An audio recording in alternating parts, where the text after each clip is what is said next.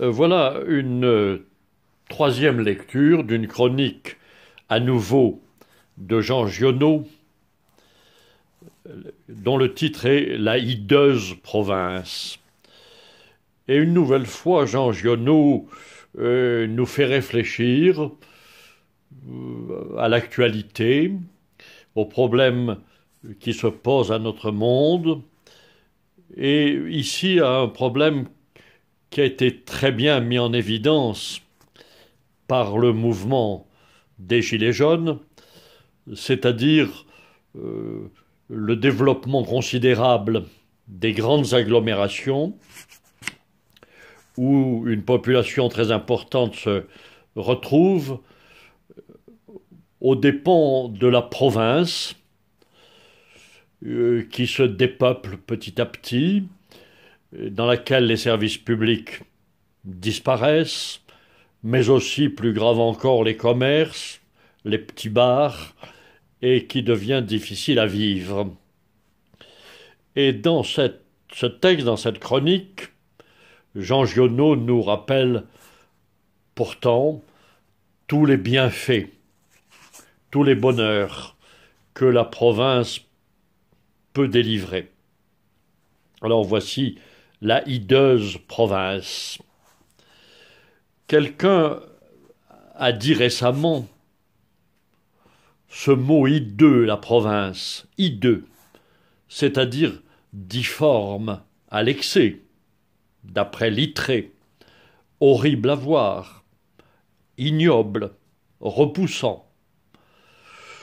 La province, c'est-à-dire encore d'après Littré, pays conquis hors de l'Italie, assujetti aux lois romaines et administré par un gouverneur romain, et encore, anciennement en France, étendue de pays gouvernés au nom du souverain par un gouvernement particulier, ou bien encore tout ce qui est hors de la capitale. Bien voilà des sens précis. Il n'en manque pas des pays qui sont hors de la capitale, l'Oklahoma, le Xinjiang, le désert de Gobi, les oasis du Tarim, la lointaine Tulé, où cependant éclatent d'extraordinaires aurores, la Nouvelle-Zélande, voire les îles sous le vent, ou de la sonde ou de Pâques, y compris les étendues du Pacifique et de l'Atlantique, où folâtrent les Léviathans, sans compter bien entendu les basses Alpes, les Girondes, les Meurthe et Moselle, les Creuses, les Nord et les Bouches-du-Rhône, et ainsi de suite. Il y a maintenant soixante et quatorze ans que je vis en province. Ce mot hideux. Je ne suis pas particulièrement coriace. Je déteste naturellement l'ignoble. Je suis même fabriqué de telle façon que ce qui est repoussant me repousse. Comment ai-je fait jusqu'à aujourd'hui pour rester en province, pour y rester vivant, et même pour m'y développer? Car le fait est, est-ce que je suis un monstre ou une exception? Ce qui revient au même. Je me tâte, je suis intact, la hideuse province ne m'a pas écœuré, mon cœur est frais comme la rose.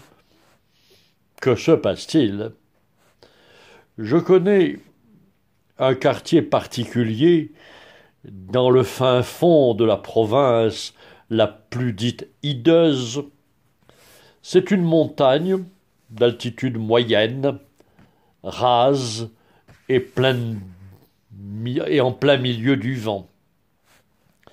À des centaines de kilomètres à la ronde, il n'y a pas la moindre usine, pas le moindre moteur à explosion, l'air légèrement parfumé de lavande ou de résine de pin depuis qu'il est né et fait au monde n'a jamais été mélangé à aucun gaz d'échappement, à aucune fumée chimique.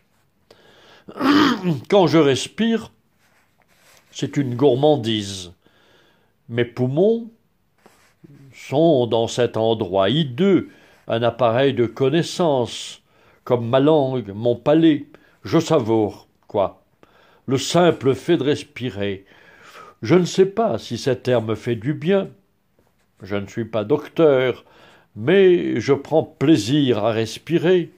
Je me dilate, je me dilate, parce que je me délecte. On me dira, c'est tout ce que vous trouvez à répondre de l'air. Vous manquez vraiment d'arguments. Qu'est-ce que vous voulez que nous en fassions de votre air? On vous voit venir. Vous allez nous parler aussi du vol du martin pêcheur, du vent dans les hêtres, ou des cris éperdus des corneilles dans les landes désertes.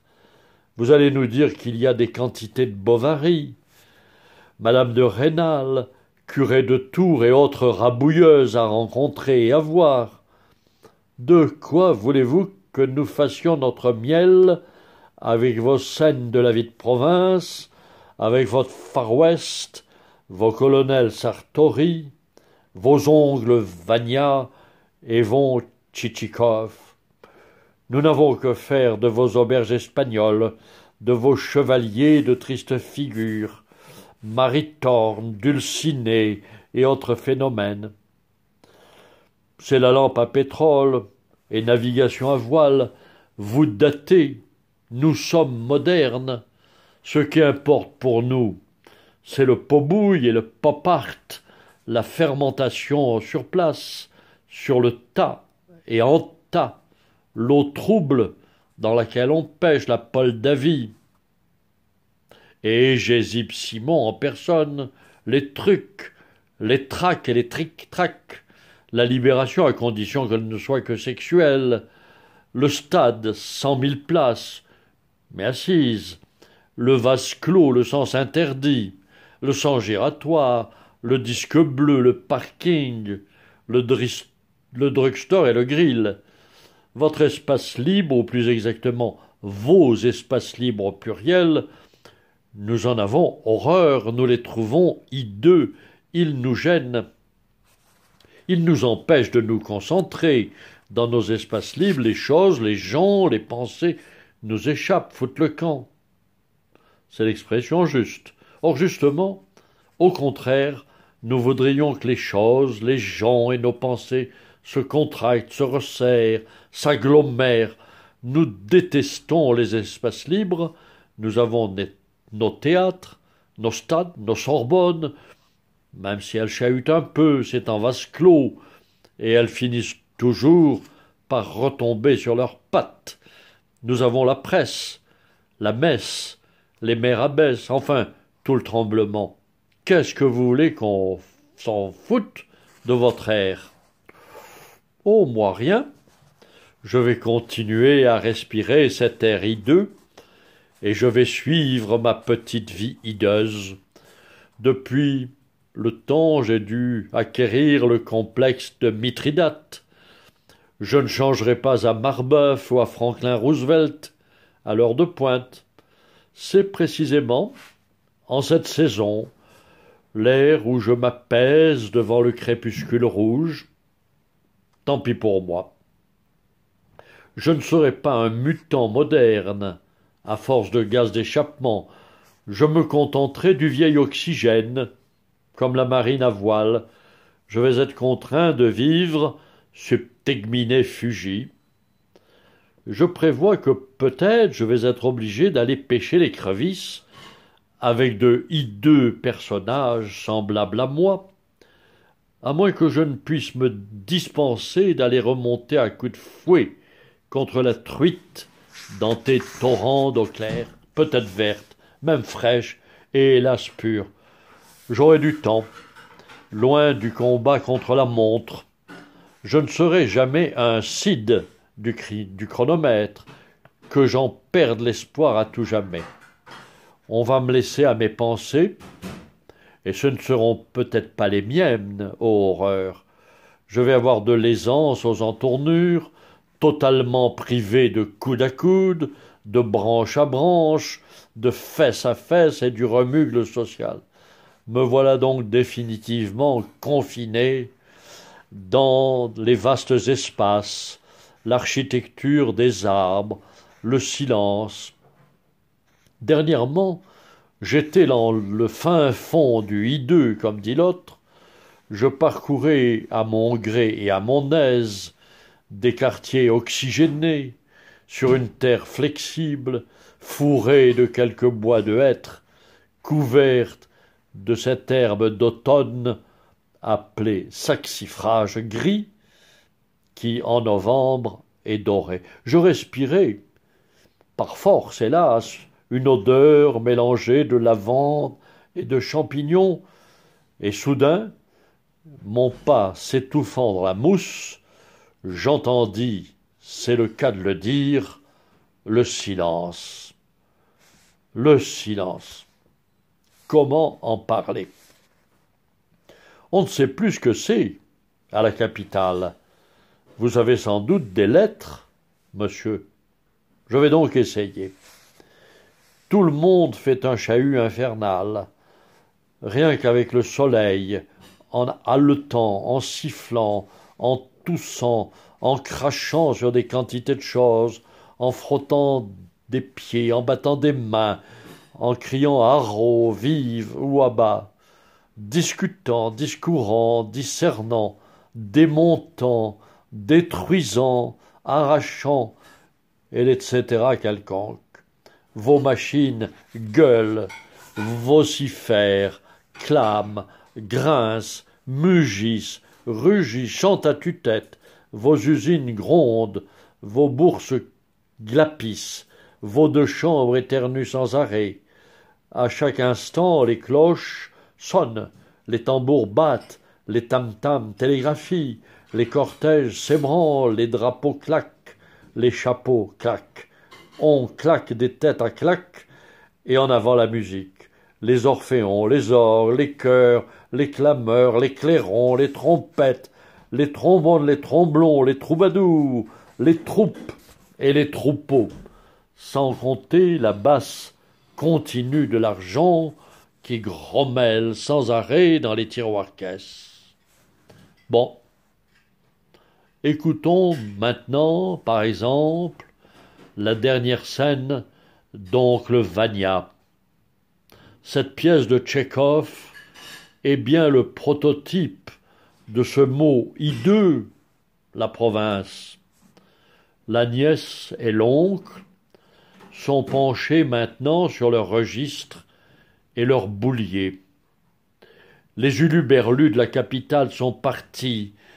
Ils ont emporté avec eux leur agitation stérile, leur incohérence, et le silence provincial retombe.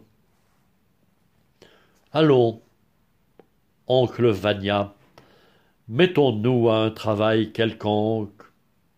Au travail, au travail. Veux-tu qu'on commence par les factures? Tous les deux écrivent, silencieux. Quelqu'un dit Quel calme Les plumes grincent, le grillon chante, il fait chaud. Bon. On n'a pas envie de partir d'ici. Le domestique entre sur la pointe des pieds, s'assied près de la porte et accorde doucement sa guitare. La nièce, Sonia, dit Nous allons vivre, oncle Vania, nous allons vivre une longue, longue file de jours, de soirées, nous allons patiemment supporter les épreuves que nous inflige notre sort. Nous allons avoir tous les deux, mon cher oncle, une vie lumineuse, belle, harmonieuse, qui donnera de la joie. Et nous penserons à nos malheurs d'aujourd'hui avec un sourire ému, et nous nous reposerons.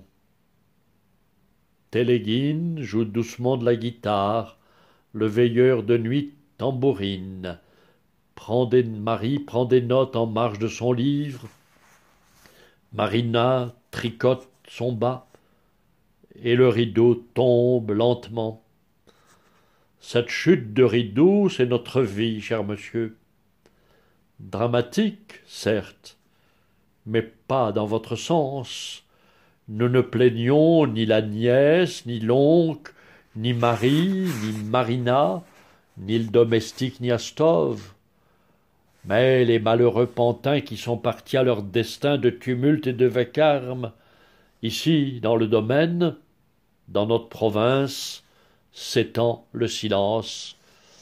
Le silence bénéfique, le silence le plus grand luxe du monde que les milliardaires eux-mêmes ne peuvent pas acheter. La paix, le temps. Nous avons le temps. Formule très rare. Dans un moment, nous allons entendre la nuit. Les rumeurs confuses, l'abois d'un chien, le hennissement d'un cheval. Il y en a encore en province. Admettons même qu'un moteur d'automobile sur la route départementale, un seul, et peut-être même un moteur d'avion très haut dans les airs, un seul aussi, un courrier, il va ailleurs. Il y a les beaux bruits, la cloche d'un hospice, le vent dans les arbres et le brasillement des étoiles. Il vient de très loin, ce brasillement des étoiles, et il va très loin, peut-être même beaucoup plus loin que ce que vous imaginez, plus loin que les polytechniques. Prenez garde. Merci.